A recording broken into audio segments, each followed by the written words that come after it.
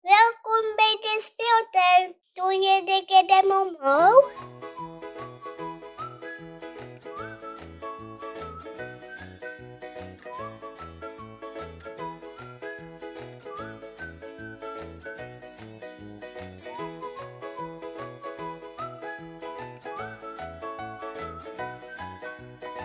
Hallo allemaal.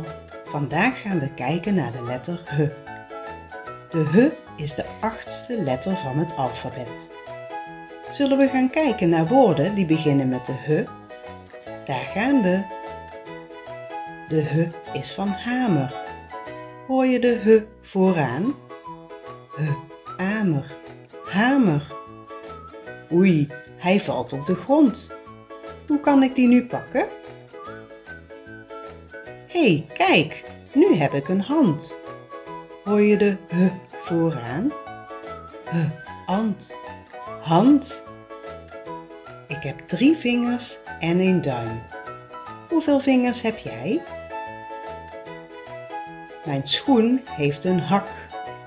Hoor je de h vooraan? H, ak, hak.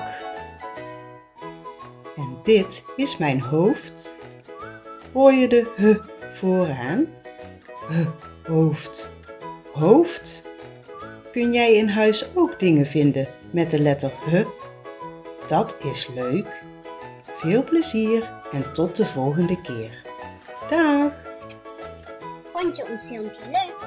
Doe dan een duimpje omhoog en vergeet niet om je te abonneren voor nog meer leuke video's.